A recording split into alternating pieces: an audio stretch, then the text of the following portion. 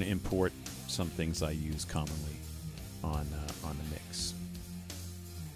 So last uh, band I mixed. So what I did was is I went to import session data. I went to the session, and I'm not going to import my alternate playlists and my regions and media, and I'm not going to import my volume and automation on these particular setups, but I do want my inserts and how it's routed. So.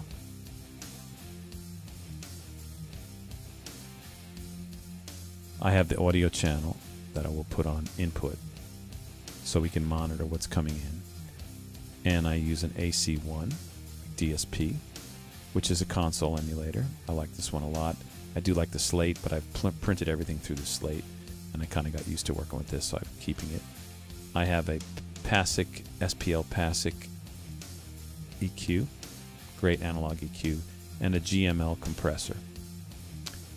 Then I also have this Brainworx, which is awesome. It's got a little stereo spread thing on it, and I can do a little EQ tweaking on the whole thing after the fact. So I'll bypass that one.